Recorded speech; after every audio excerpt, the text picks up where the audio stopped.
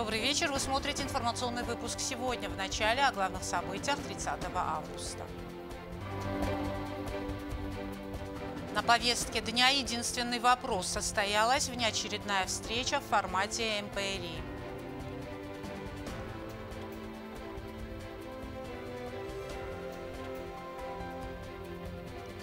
Вынуждают на принятие адекватных мер. В Госдуме провокацию Грузии в Южной Осетии сравнили с басней «Слон и моська».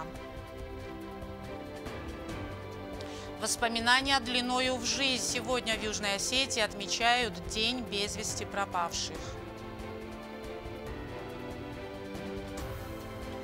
Приоритет каждого сотрудника – буква закона, исполнение воли суда. Сегодня свой профессиональный праздник отмечают приставы Минюста.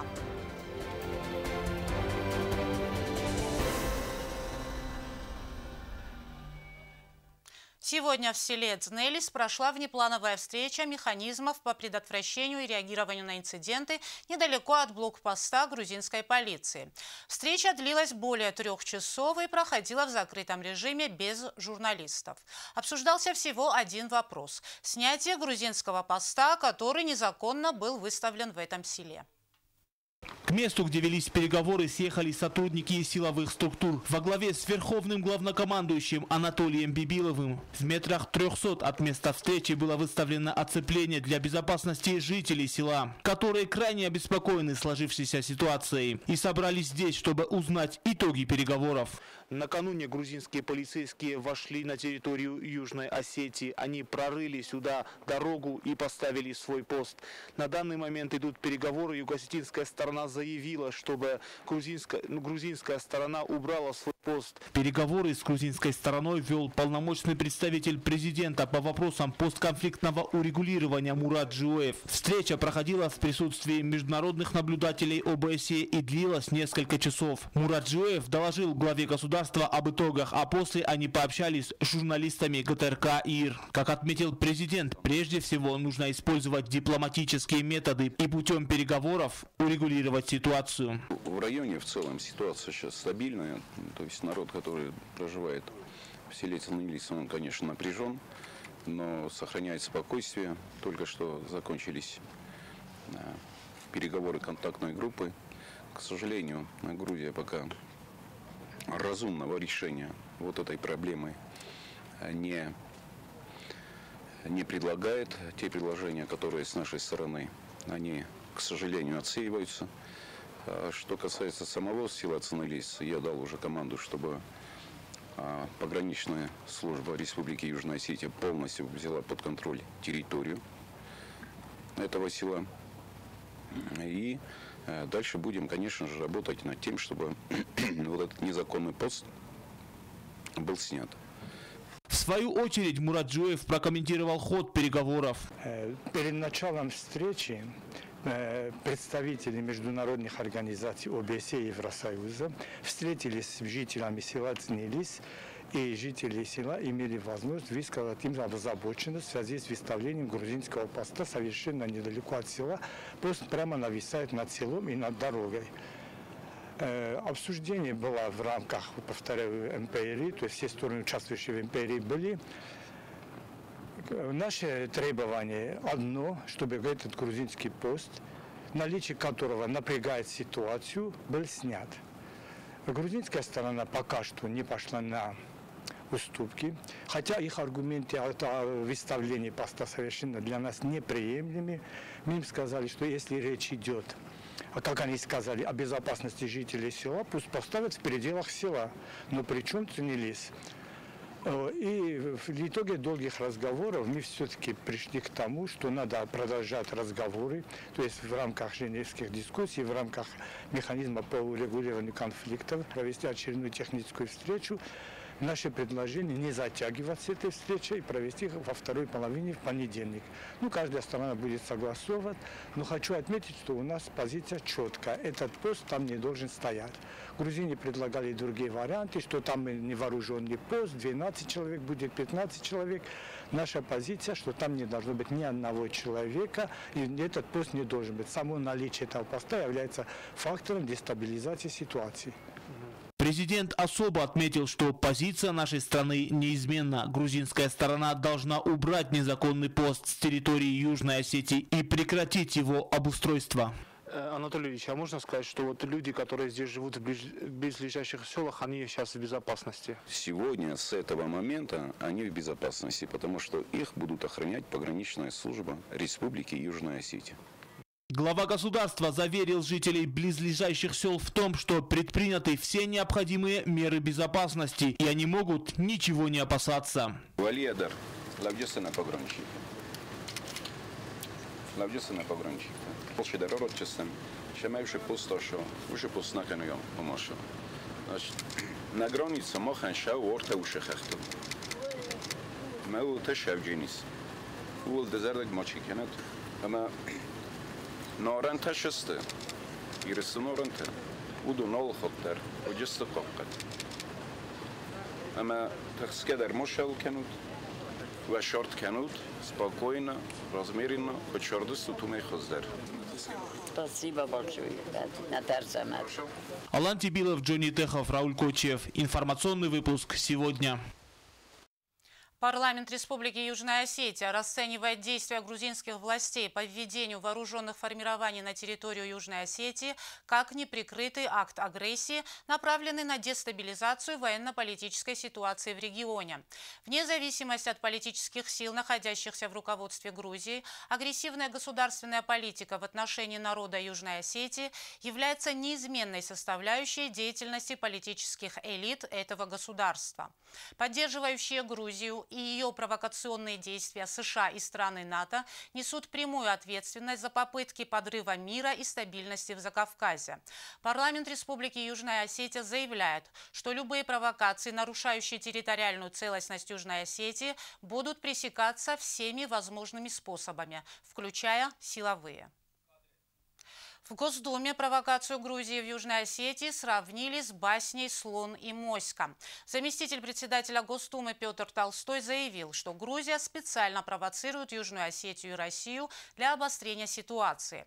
Толстой также отметил, что мелкие провокации Грузии – это попытка привлечь внимание международного сообщества и возможность получить лишний повод кричать о том, что грузинская территория оккупирована.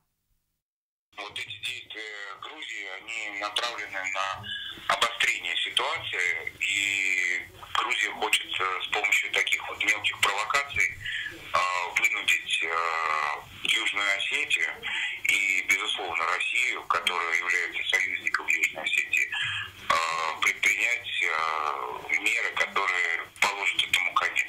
А потом на весь мир жаловаться, как оккупируют их территорию якобы и так далее. Чего не понимают грузинские политики и вся вот эта вот бегающая по Тбилиси э, кричащая молодежь, это то, что никогда ни Южная Осетия, ни Абхазия уже не вернутся в состав Грузии, потому что сами грузины нарушили законы собственной страны, осуществив вооруженное нападение в 2008 году.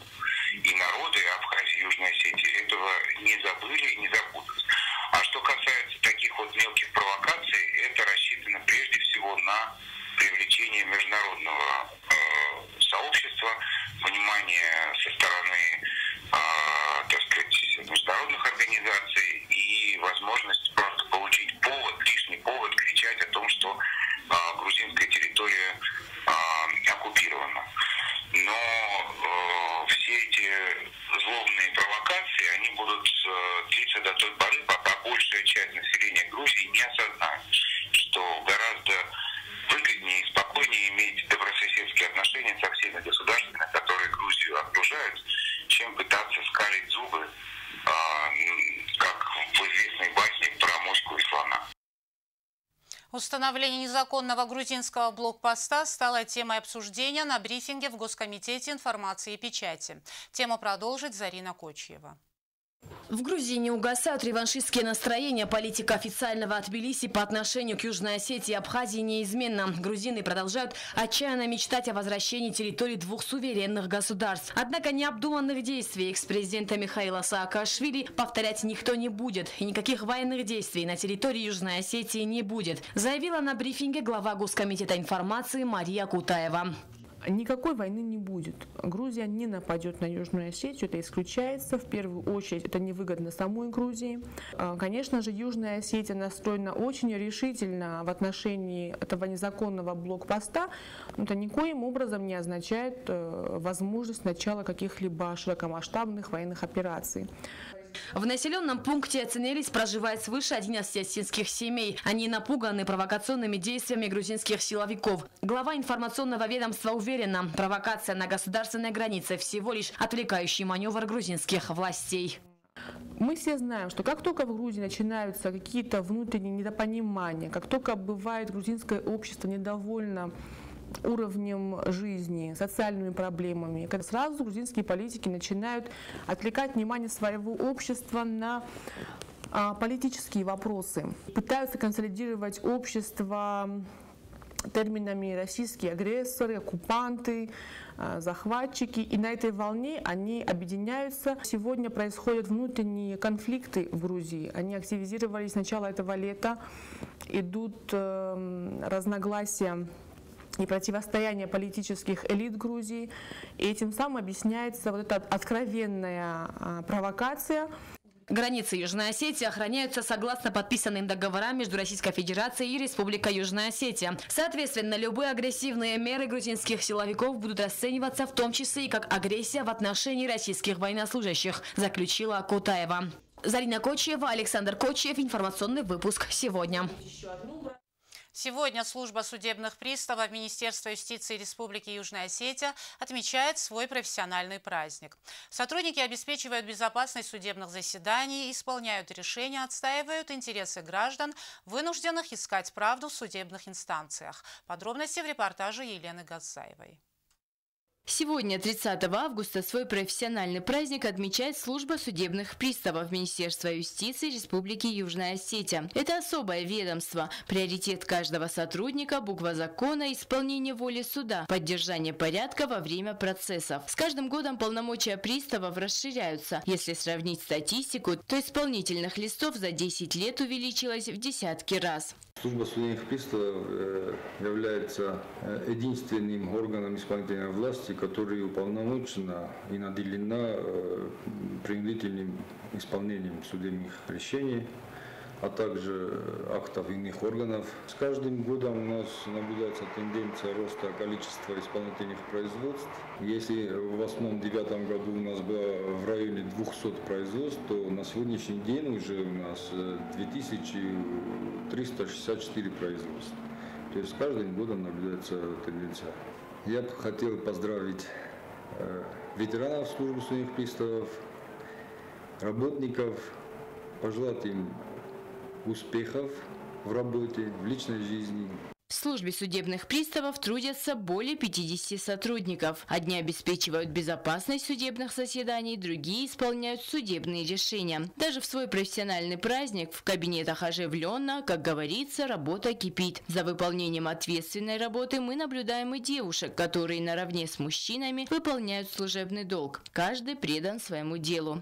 Поздравляю своих коллег с Днем судебного пристава. Желаем удачи, счастья, взаимопонимания со стороны людей и мирного неба над Помимо взысканий, изъятий и прочих принудительных мер, судебные приставы занимаются и благотворительностью. У многих неоднозначное отношение к приставам. С одной стороны, они приходят и принуждают отдать долг, а с другой защищают интересы тех, в чью пользу наклонилась чаша весов правосудия. Приставы отстаивают интересы тех, кто был вынужден искать правду в судебных инстанциях. И сегодня их профессиональный праздник. В этот день они получают поздравления от родных, друзей и коллег. К ним присоединяется и наша съемочная группа. Елена Газаева, Азиз Багаев. Информационный выпуск сегодня. С профессиональным праздником службу судебных приставов поздравил президент Анатолий Бибилов. Отмечен весомый вклад в укрепление правовой системы Республики Южная Осетия, соблюдение законности и правопорядка, защита конституционных и социальных прав наших граждан. Глава государства пожелал дальнейших успехов в работе мира, добра и благополучия. Президент Анатолий Бибилов поздравил президента Республики Арцах Бакуса Океана с днем рождения. В поздравительном послании говорится «Знаю вас как настоящего друга Южной Осетии, принципиального сторонника укрепления союзнических отношений между нашими странами. Рассчитываю на продолжение конструктивного диалога с вами и активной совместной работой по наращиванию плодотворного двустороннего сотрудничества. Желаю крепкого здоровья, благополучия и неиссякаемой энергии в вашей государственной государственной деятельности на благо народа Арцаха. Президент Анатолий Бибилов поздравил Леонеля Айнгимея со вступлением в должность президента Республики Науру. Глава государства выразил уверенность в важности поддержания высокого уровня и динамики политических контактов между Южной Осетией и Республикой Науру и пожелал крепкого здоровья, благополучия и успехов на благо народа Науру.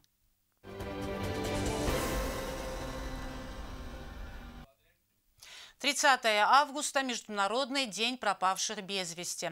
В фойе киноконцертного зала «Чермен» собрались близкие пропавших, члены правительства, общественность, журналисты.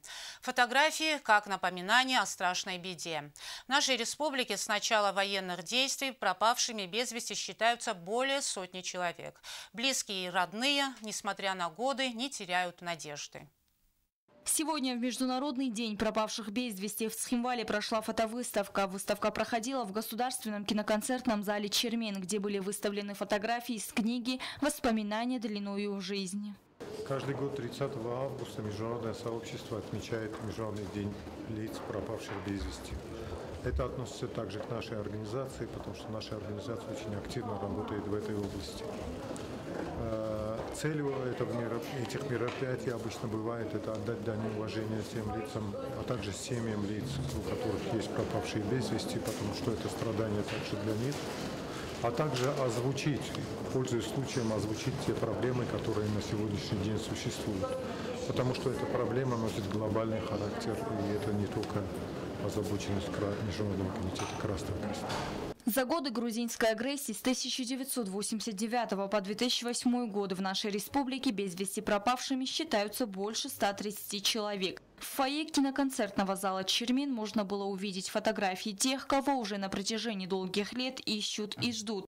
На фотовыставку сегодня пришли родные и близкие. Мероприятие посетил и глава правительства Эрик Пухаев. Я хотел сказать, что человек живет надеждой. И каждый раз, смотря в глаза вот, присутствующих людей, которые потеряли своих близких, особенно матерей, мне бывает очень трудно и скорбно то, что эта надежда у них не угасает. Дай Бог, чтобы не до последнего человека, который, о которых, о судьбе которых мы до сих пор не знаем, чтобы они Семьи пропавших без вести продолжают ждать и каждый день ожидают вестей. Я не знаю, что лучше. Я не знаю в этой ситуации, что лучше. Иметь информацию, знать, где похоронен близкий, или себя тешить надеждой.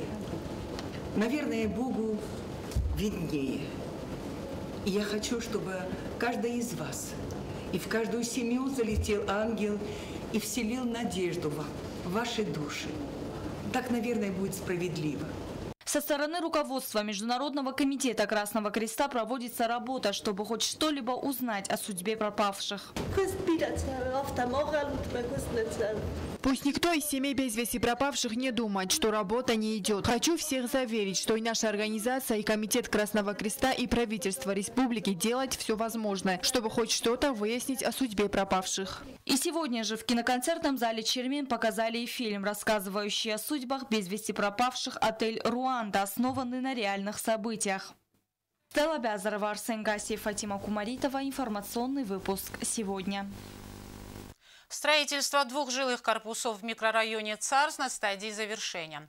В пятиэтажных домах предусмотрены все условия для жильцов. В одном рабочие заняты внутренней отделкой, а в некоторых квартирах ведется установка дверей. Предусмотрены и детские площадки.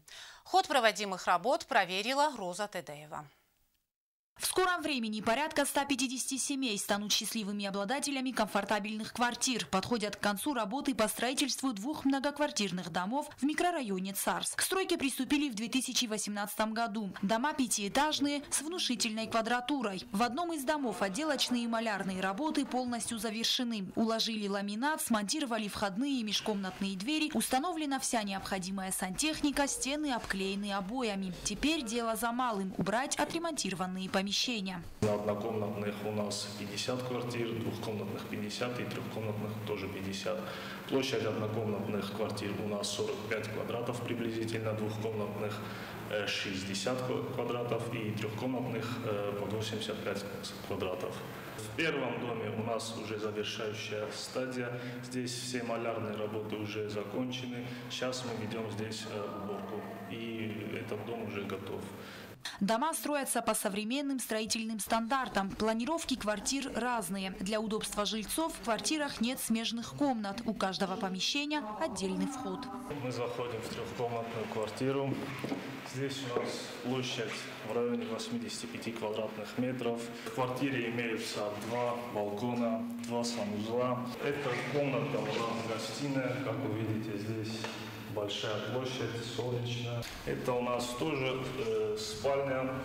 Э, в квартире имеются две спальни. Это вот у нас, которая побольше.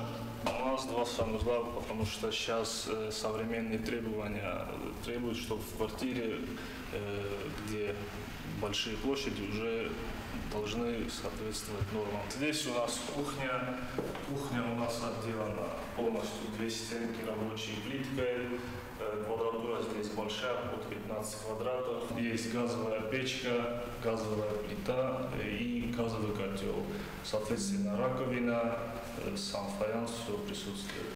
Самом разгаре малярные работы во втором доме. В некоторых квартирах ведется установка дверей, в других приступили к подклейке обоев. Укладывают напольную плитку и ламинат. На объекте задействованы порядка 80 рабочих, поэтому работы во всех квартирах ведутся параллельно. В данный момент у нас э, производится монтаж ламината, монтаж межкомнатных дверей, малярные работы, установка сантехнического фаянса. В каждой квартире, э, практически в каждой комнате у нас э, разные обои. Э, считай, что совпадений у нас практически нет. Ламинат э, тоже присутствует двух видов э, в одном месте. Ну, это уже в разнобой, где-то чуть светлее, где-то потемнее. Также у нас натяжные потолки. Э, все работы ведутся в соответствии с графиком, нет никаких отставаний. Что касается прилегающей к домам территории, здесь установят детские площадки со всем необходимым инвентарем. Строители обустраивают сразу две детские зоны. Параллельно с внутренними отделочными работами строители приступили к благоустройству прилегающей территории. Уже готовы газоны, тротуары. Осталось еще заасфальтировать проезжую часть. Как заверили строители, все работы будут завершены в срок к середине октября. Роза Тедеева, Ринат Медоев. Информационный выпуск сегодня. В Цхинвальском многопрофильном колледже проходят вступительные экзамены. Заявления принимаются на 13 отделений. Однако ощущается нехватка абитуриентов по сравнению с прошлым годом. Так, на несколько факультетов желающих и вовсе нет. Репортаж Фатимы Чучьевой. Сегодня в Цхинвальском многопрофильном колледже прошли вступительные экзамены. 12 абитуриентов после окончания 9 классов решили поступить в колледж. Экзамены проходили по русскому языку и математике. 48 человек выбрали колледж после окончания средних классов. Экзамены для них пройдут в понедельник 2 сентября. Итого желающих поступить в этом году в колледж 60 человек. По сравнению с прошлым годом количество абитуриентов снизилось. Однако приемная комиссия продолжает свою работу. Прием продолжается до 15 сентября. И будет 15 э, сентября будет зачисление на, отделение, на все отделения. Заявления принимаются на 13 отделений. Повар, кондитер, портной, автомеханик, агроном, мастер отделочных строительных работ и другие. Больше всего абитуриентов хотят поступить и на повара-кондитера. Но в целом есть проблема с недостаточным количеством студентов. На несколько факультетов и вовсе не поступило заявлений. У нас нет абитуриентов на отделение резьба по дереву, изготовление изделий по дереву. Эм, и технология продукции общественного питания на базе 11 классов. Но мы надеемся, что в течение вот этого периода, на который продолжился прием, они будут. Схимварский многопрофильный колледж образовательное учреждение профессионального образования по подготовке специалистов и квалифицированных рабочих в различных областях производства. Обучение в колледже позволяет молодому человеку приобрести интересную рабочую профессию, дающую не только твердый заработок, но и исчерпывающие знания в самых различных сферах жизнедеятельности человека. По окончании колледжа вместе с аттестатом о среднем образовании он получает диплом специалиста среднего звена. Фатима Чочева, Арнольд Харибов, Фатима Кумаритова. Информационный выпуск сегодня. Информационный выпуск продолжают новости спорта.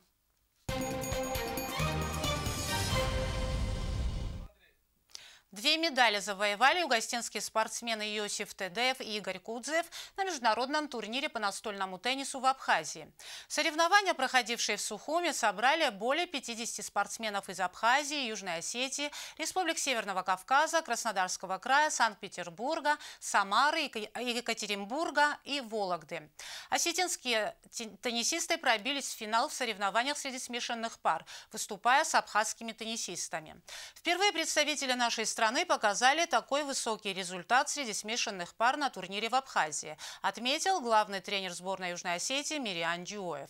Он выразил слова благодарности президенту Анатолию Бибилову за оказанную поддержку в организации поездки на соревнования. На этом наша программа подошла к концу. Я Ирина Дюоева. Желаю вам всего доброго и до свидания.